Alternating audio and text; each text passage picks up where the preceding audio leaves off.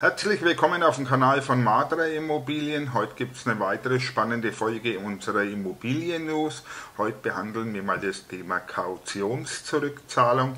Da hat in diesem Sommer der Bundesgerichtshof ein spannendes Urteil gesprochen, das die Vermieterrechte stärkt.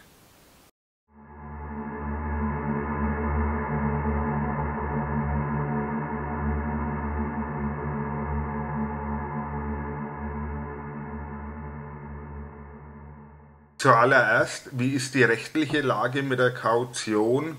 Also nach bürgerlichem Gesetzbuch, Paragraph 548 Absatz 1, hat der Vermieter sechs Monate Zeit, seine Ansprüche den Mieter gegenüber geltend zu machen. Nach diesen sechs Monaten tritt die sogenannte Verjährungsfrist ein.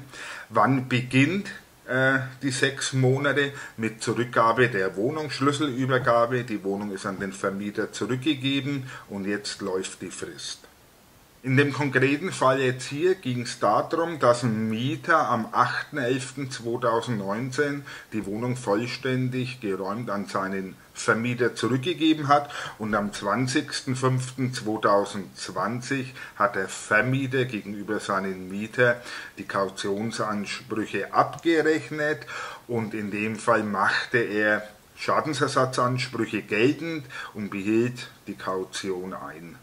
Der Mieter beruft sich jetzt natürlich auf seine sechs Monate Verjährungsfrist. Er hätte gern die 780 Euro geleistete Kaution zurückbekommen. Das machte der Vermieter nicht. Und dann kommt es, wie es kommen muss. Man trifft sich vor Gericht. Zwei Gerichtsurteile gab es. Die haben jeweils zugunsten des Mieters entschieden, sodass der Vermieter nochmal Revision einlegte und dann ging es vom Bundesgerichtshof. So, und was ist jetzt passiert? Der Bundesgerichtshof entschied zugunsten des Vermieters. Ich lese euch einmal die Passage kurz vor.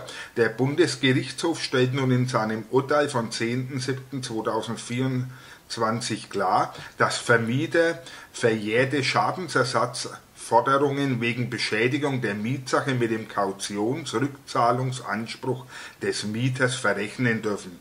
Dies gilt auch dann, wenn der Vermieter die Möglichkeit, Schadensersatz in Geld statt einer Reparatur zu verlangen, nicht innerhalb der Verjährungsfrist genutzt hat. Das Urteil sagt jetzt klipp und klar, dass die sechs Monate Verjährungsfrist in Anführungsstrichen egal sind. Wie seht ihr jetzt das Ganze? Seht ihr das als gerechtfertigt? Konflikt an oder sagt ihr, nee, das passt nicht. Schreibt mal in, unten in die Kommentare rein, wie ihr das seht. Habt ihr so ähnliche Fälle schon gehabt? Habt ihr Streitigkeiten gehabt mit Mieter oder Vermieter? Würde mich mal echt interessieren. Ansonsten würde ich sagen, bis zur nächsten Immobilien-News. Macht's gut. Ciao.